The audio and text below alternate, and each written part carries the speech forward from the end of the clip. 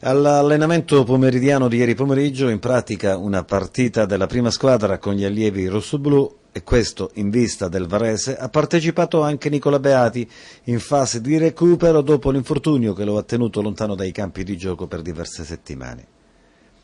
La sfida casalinga di domenica alle 15, non di sabato perché c'è il doppio impegno della nazionale, dovrà essere affrontata con il massimo della concentrazione. La squadra di Sonnino, allenatore varesino, dopo aver battuto il Novara per 3 ad 1 in due giorni distinti è salita a quota 9 punti in classifica, vorrà, e di questo ne siamo certi, tentare il sorpasso proprio a discapito della nostra formazione.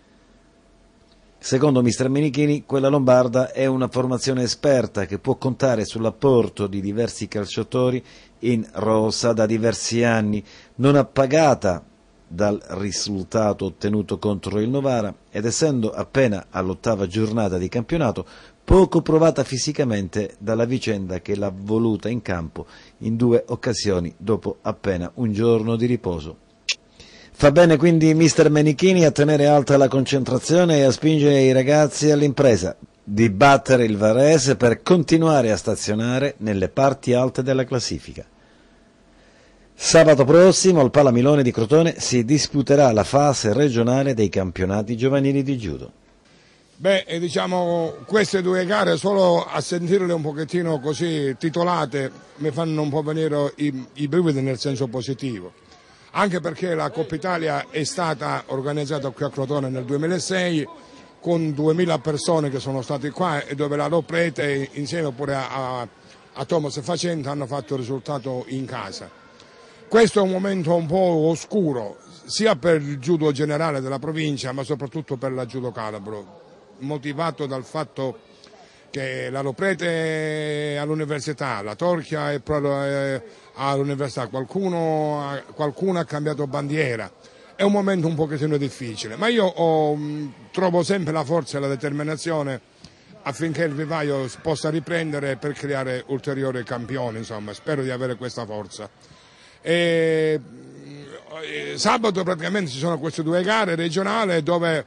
eh, la provincia rispetto ad altre volte non è ben organizzata, organizzata a livello agonistico mi riferisco, con atleti che poi possono andare a livello nazionale, perché il primo classificato di ogni categoria avrà diritto praticamente ad andare a Roma dove là saranno oltre 500 fra maschietti e femminucce, divise naturalmente in 14 categorie di peso, 7 maschile e 7 femminile, e si contenteranno il titolo italiano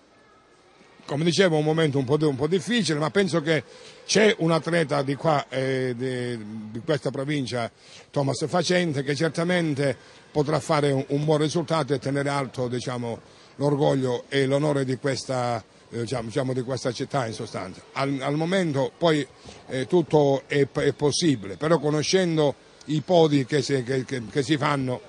eh, la matematica è quella. Insomma. Va bene, a parte tutto, comunque conoscendoti e sapendo quello che hai combinato eh, nel corso insieme, insomma, nel corso di positivo quello che abbiamo fatto. Nel corso degli anni Anche il vostro contributo è stato importante. Ma a prescindere da questo, io stavo dicendo da questo vivaio nascerà qualche altro campione. Sì, io oh, non voglio essere un pochettino molto ottimista perché è un periodo che devo stare con i piedi per terra Diciamo che eh, fra, eh, ho sempre scoperto ragazze ragazzi, diciamo, eh, ho avuto naso, fiuti, però adesso mi è capitato, a volte è vero che eh, la sfortuna, cioè non sempre è negativa, oppure mi è capitata una, una ragazza